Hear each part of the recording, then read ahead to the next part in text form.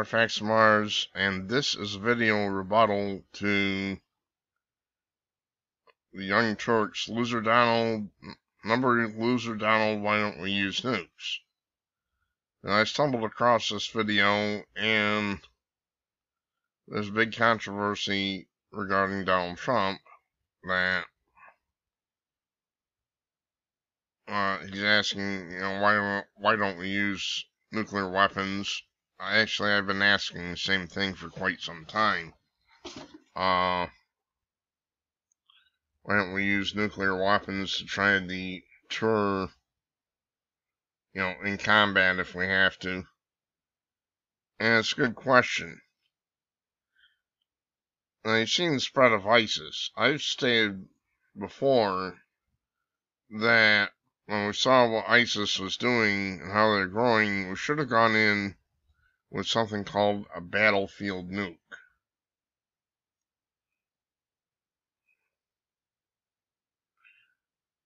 Uh, this site's not cooperating very well, but uh, that's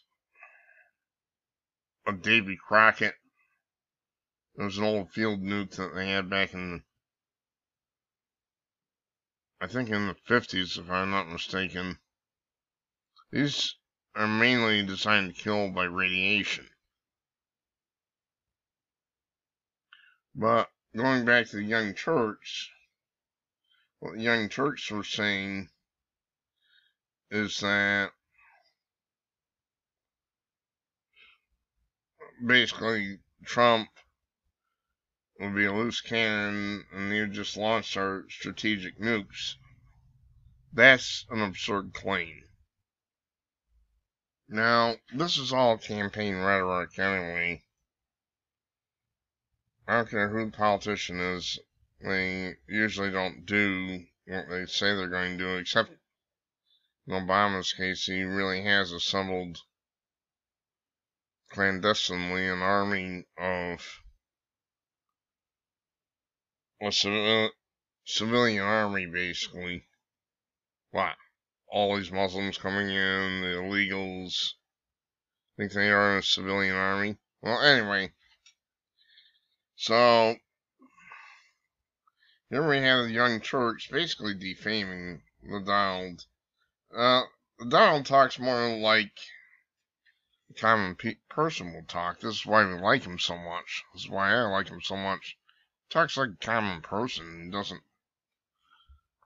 talk down at us or anything like that. But what good are these weapons? I'm not talking about the big city busters, I'm talking about battlefield nuclear weapons. What good are they if we don't use them? He's got a point. Paul, late Paul Harvey used to say the same thing. Now,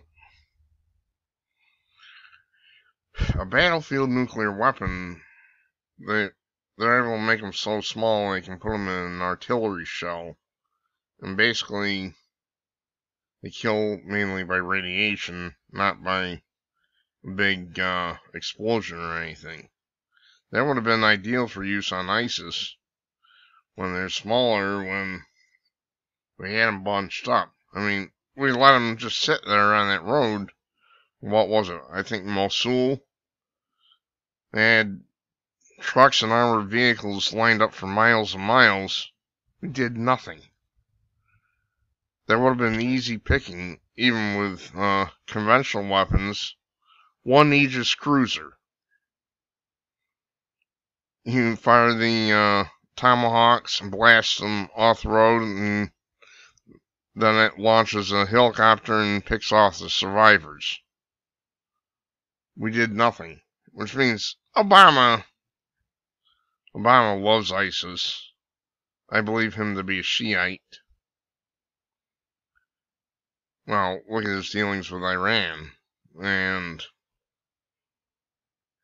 paying a ransom to them and all that.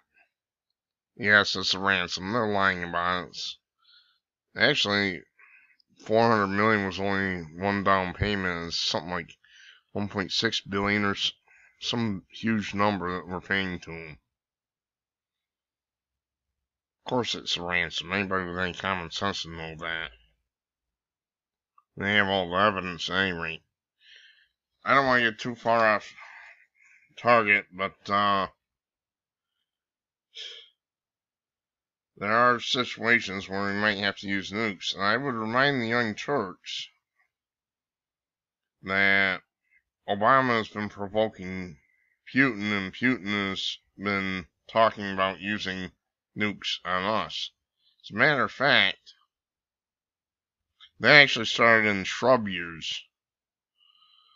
As a, as a matter of fact, during one Syrian flare up, the first one, their field commanders had permission to use nukes if they thought was necessary.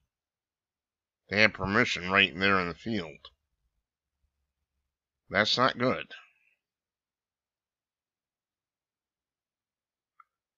Now, we have a schlub in the White House who won't do anything to protect us.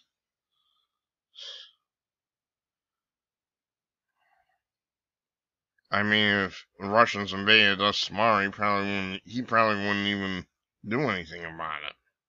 It would be the civilian population fighting back. I don't know. Obama is something else again.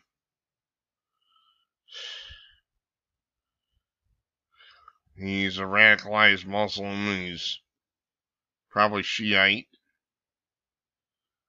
And of course, he made that fake deal with Iran. Not good. If he don't get us in a war with Putin, then we'll be damn lucky. So, you young Turks, you're so worried about Trump. All this is rhetoric. It's meaningless. I wouldn't take nukes off the table at all. But we're not talking about pushing buttons and blowing up half the cities in the world. We're talking about more local skirmishes like uh, during the Afghan war when we had Tora Bora, our people were pushed back there because they had us outnumbered or something. That's the kind of situation that would be a good candidate for a nuclear weapon dropping right in their laps and frying the bastards, but sending them to hell. At any rate, that's my rant. I disagree sharply with Young Turks. These are liberals. They have the mental disorder of liberalism. They think that Trump's going to blow up the entire world. That's insane. He's a businessman. He's putting people in place. He's assembling his team, from what I understand, and he's going to, if he gets elected, he's going to try to revitalize our economy, cut taxes, and probably cut regulations too. He's more of a conservative than a liberal. He has some liberal leanings, yes, but I think Donald's the right one for the job. And yes, I want him to be in control of our nukes. Uh, Hillary's behavior has been increasingly erratic, as known by Alex Jones, and